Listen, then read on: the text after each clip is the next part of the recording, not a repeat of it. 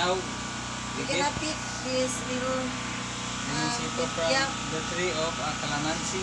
calamansi. Yep. The calamansi have many thorns to they, they You just be careful to pick up that one. Be careful Because get want, your- we want your hands. And so, and uh, also your eyes because there's so many dust. it's uh, very dangerous because have like this. The big is So many juice inside. oh yes.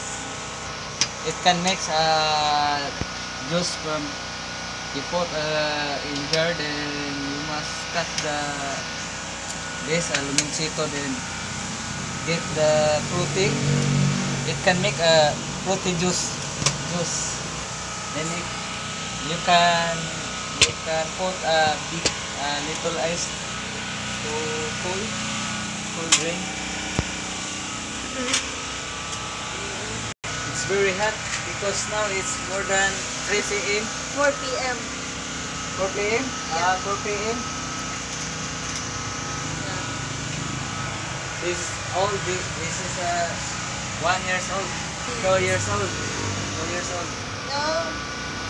Uh, I just um, Planted since 2007. Then now. now it's 20, 2021. Since she, Yeah. since this tree is has a fruit last 2016 until now she has Until now is like yeah. so many fruit. Always, always make up. Uh, and also you also we have a uh, flowers over there they have lava like this, a butterfly. yeah and flowers Flowers also. yeah And it, it, it, it can, the flowers make, uh, it, they have a moon, moonlight, shadow. yep Moonlight shadow.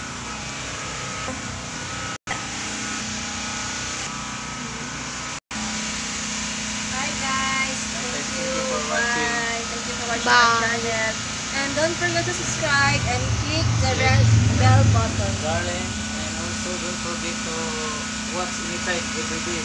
Yeah. We'll have new videos Coming soon for next week. Coming soon.